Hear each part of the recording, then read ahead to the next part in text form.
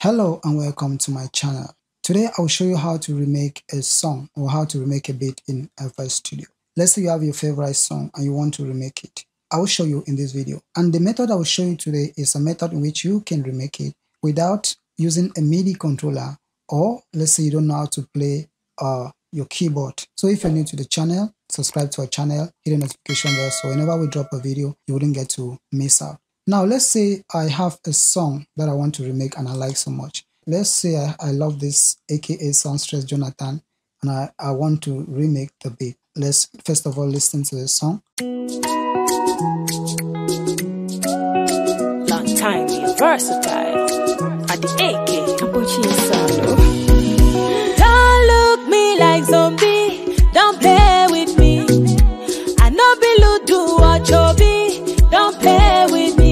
Shebi, you say you don't tire me. After the love where I shower you, you gonna think you fit to fool me. After that, you go leave and then betray me. Shebi, you say you don't tire me. After the love where I shower you, you gonna think you fit to fool me. After that, you go leave and then betray me. Jonathan,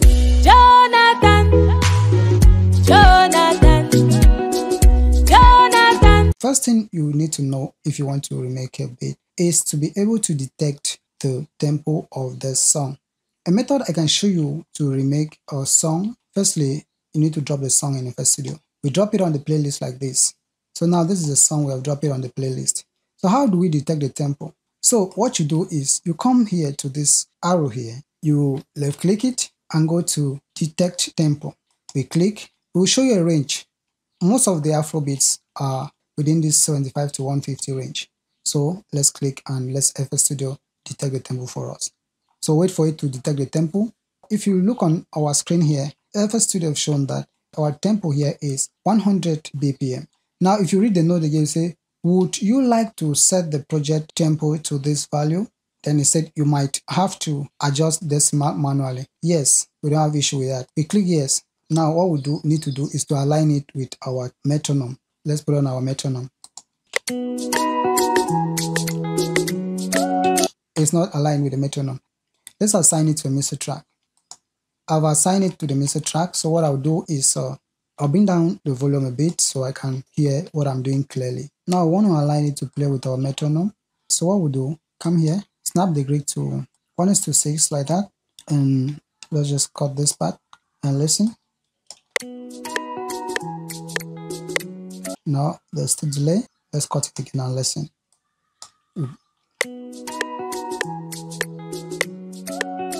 Long time, you're versatile. Okay, I think we still need a little. So since we are out of snapping, because if we snap like this, we've chopped the beginning. Let's snap it back to none and try to cut it like this. So let's listen with our metronome and see.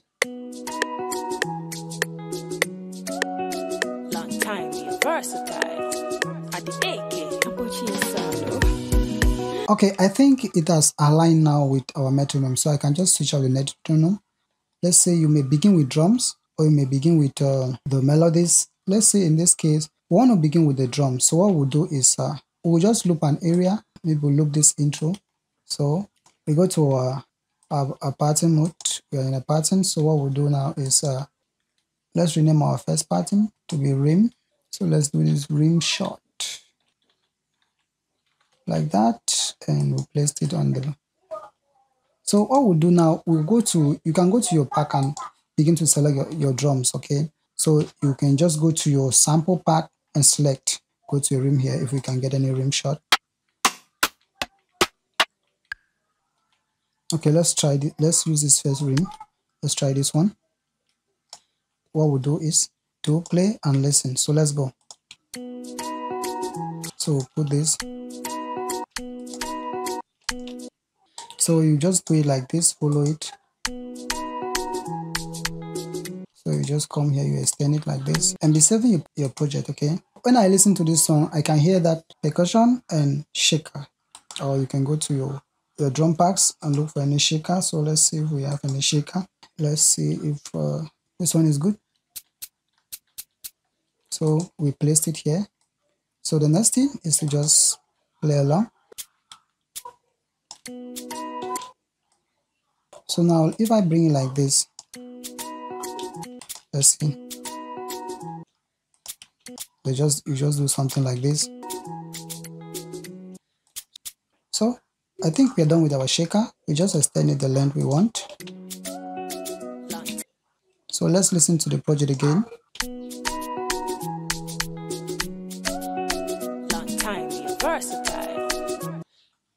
So let's look for a kick. We go to FL Studio Pack like this and look for maybe vintage and let's let's see if we can get a kick. Okay, I think we'll use this one. Let's get a kick. So let's just do it for a step. So now we'll just paste that with the beat. So Don't look me like zombie. Don't play with me. I think we've gotten our kick. So when I listen, I think I can hear conga inside. So you can just go in and look for conga. Let's see this one. So as you can see, I'm doing it manually. We're not using any MIDI keyboard. We're using we are writing the notes. So let's get look for nice position. I know be do what I know be do what you. Don't I know be do what So I think I hear kum kum. I know be do what you. I know be do what you. Don't So I hear. I So know be do what you be. Don't play with me. I don't think I hear this here. I know be do what you be. Don't I'm hearing kum kum kum kum. So I just duplicate it. I think we are done with the drum section. The next thing is for us to try to build our melody. The next thing is for us to look for the chord progression of the song. Now we don't know how to play keyboard. We don't know anything about chord progression. So how do we do it? Let's look for any VST. Let's get flex. We'll go to essential guitar, essential guitar, and let's select this one. Let's loop a section. So let's listen. long time versatile. At the AK, In this case, we don't know the key of the song, so we try to fish out the key with this method. We go to our piano roll, I've open flex, is essential guitar. Okay, now let's play and try to figure out. Just drop a note anywhere. You listen very closely. So what you do is just to scroll around. It's still out of the key. It shows that's not the key. Okay, I think that's the key. Listen again. Listen closely. So I can hear mm, meaning is going downward. So let's just. So if you are not getting it, just step down until you get the right one. It's off. So let's do the next one. Just just listen to it and figure it like that. Let's go. Now it matches. So let's listen to the last to complete the progression. Long time be You hear, "Mm," just put your note and walk through it because you don't know the progression. That's simple. We are writing it. You hear that? Just do that. Let's listen now. long time versatile. At the AK, I think this is the chord progression. What we do is just to duplicate it. You can take it an octave and listen if it works. Octave down.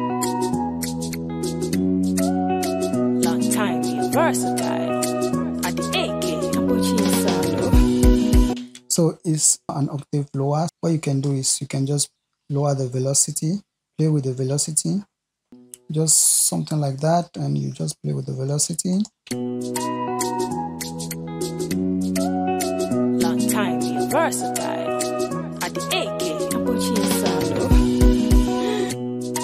Uh, this method I'm using on this video is a method which you don't have a MIDI keyboard.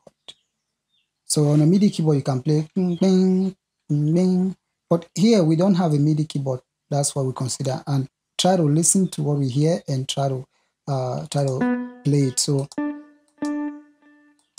so you hear bing, bing, just go around and play with it. So you do bing bing, you see? so that's what you do you just play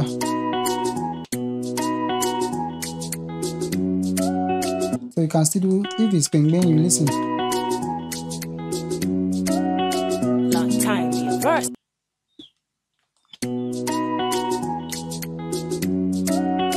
Long time reverse.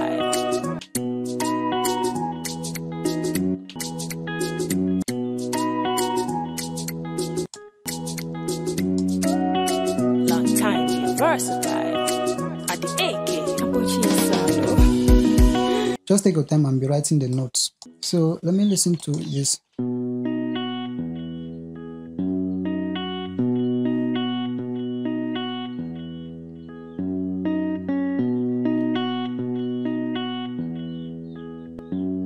So the next thing I hear, I think I hear, uh, I think I hear string.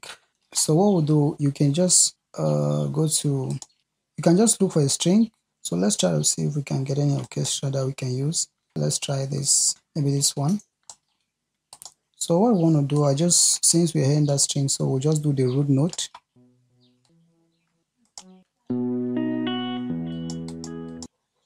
Let's take it an octave higher like this. So let's listen.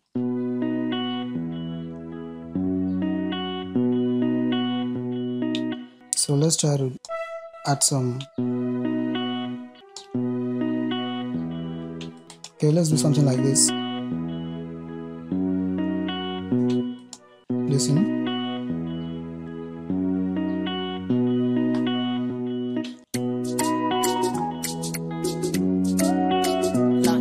So the only thing I can hear in this intro again is just that sound playing the Jonathan. So I can hear just the. Let's say we cannot figure out that particular instrument for now. Let's go to keyboard. You can just get uh, something like this, or maybe a piano, or maybe this one. I think it's a woodwind sound, but for now I don't think we'll be able to figure the particular one. So if we go to piano roll, so let's see. You can just do it like this. So, so we'll just do some. So, up. So you just fine tune it and see the position.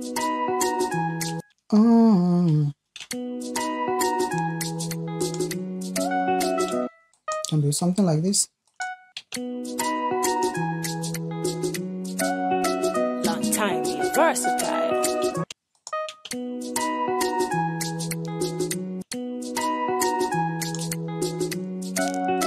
Long time versatile. At the A. At the AK. At the AK. Abuchi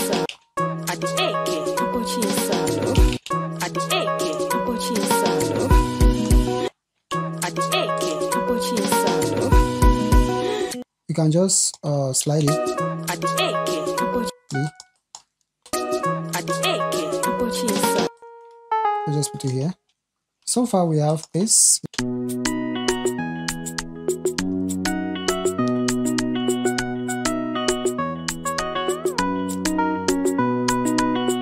So our next instrument is uh, kalimba. We're just loading this purity. We'll go to our preset here on- impurity and I think we'll use that kalimba. Don't look me like zombie. Don't play with me. I know be do or chobi. Don't look me like zombie. Don't play with me. I know be do or chobi. Don't play with me. Shebi, don't look me like zombie. So I think we are done with our kalimba. So let's do a sub. What we'll use for the sub, let's go, let's just load our DX10. You go here, look for a preset. Then we'll try FM sub or let's try this, uh, let's, let's use this E flute to create our sub. Let's hear how it sounds. But wait, let's, let's go downward. So what I hear, let's follow it. I hear, mm. So what we'll do is just go down. Okay, let's try this.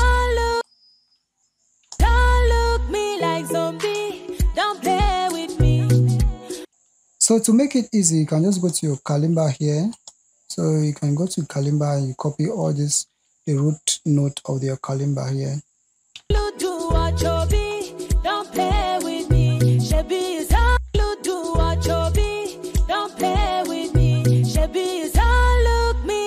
So I think we've got our intro up so now we are done with our sub. Uh, let's just listen to our sub.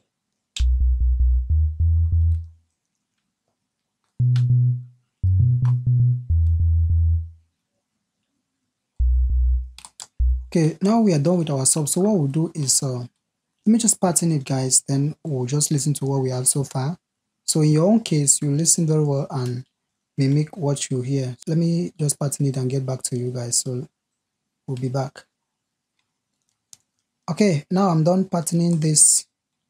So uh let's just hear what we have so far. I just loop this section so we hear what we have so far. So let's let's listen to what we have so far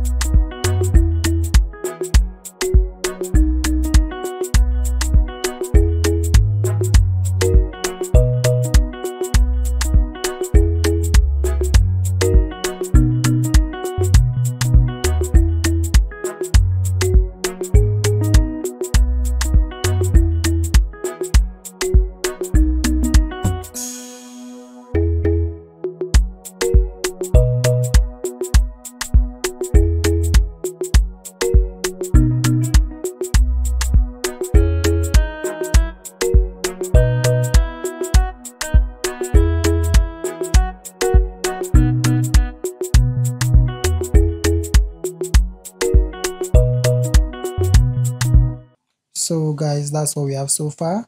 I believe now you can understand that you can even do your beat in fl studio without you having a midi controller. And also even if you don't have a you don't have any idea on how to play your keyboard you are still good to go. I am Naira again from phantom production. So if you're new to the channel subscribe to our channel and also hit the notification bell so whenever i upload content you wouldn't get to miss out. And thanks for watching. Stay tuned